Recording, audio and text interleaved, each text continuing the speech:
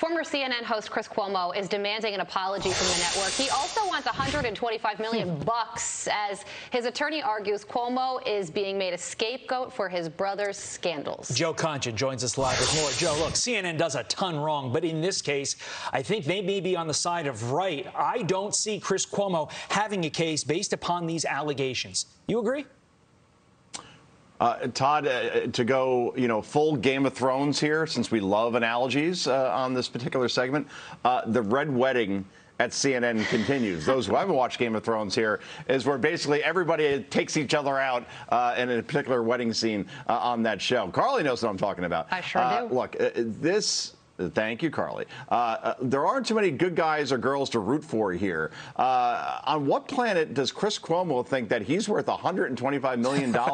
Uh, he finished a distant third, right, against uh, other competition, including Sean Hannity on this network uh, in his particular time slot. But this is a guy, he got COVID, right?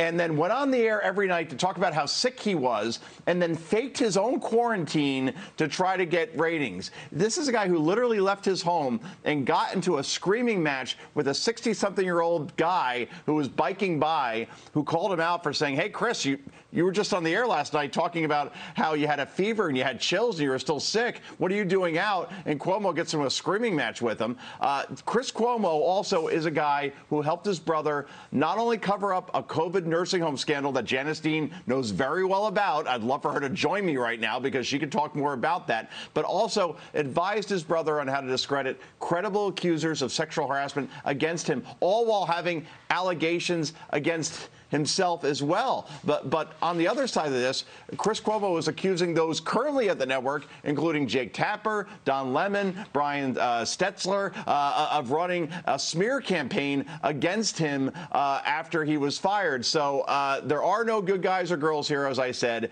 and this is only going to get messier for CNN as its collapse now apparently is complete. Well, speaking of CNN, their editor at large, Chris Cillizza, has some thoughts on why this country is so polarized and he writes Republicans yeah. move faster and further to the ideo- ideological right than Democrats have gone to the left. Uh, also, they have mm. made the entirety of the House and Senate more conservative over the past 50 years.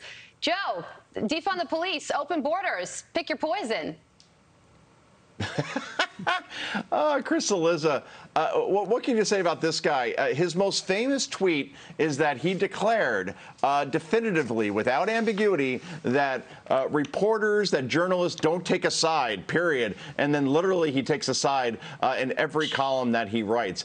look, I'd love to see Chris Cillizza talk about Alexandria Ocasio Cortez and the squad sometime. And if you want to look at this objectively, if you want to say that the Republican Party has gone more to the right than Democrats have gone to the left. I'm sorry, just look at the president of the United States right now, Joe Biden, who was considered moderate back in uh, that time called the mid 90s. I believe you call that sophomore year, Carly. And, and now you see how far left that they have gone. So this is an argument where you can make a, a, a pretty good argument, I think, for both sides, where, you know, maybe the right has gone a little bit more right. But clearly the Democratic Party has gone much more left uh, than the Republican Party has gone right. If you look at this sane and sober, which I am both right now, guys. Unconfirmed reports that Cillizza's grandfather was the one who said Dewey defeated Truman, but we're looking into that. We'll hopefully get some results soon. Yes. Happy St. Patrick's Day to you, sir. See you wearing your you green. won't be sane and sober for long. Yeah, nah. we go to a Fox Where's News Carly's green? Yeah, I know. Don't worry about it.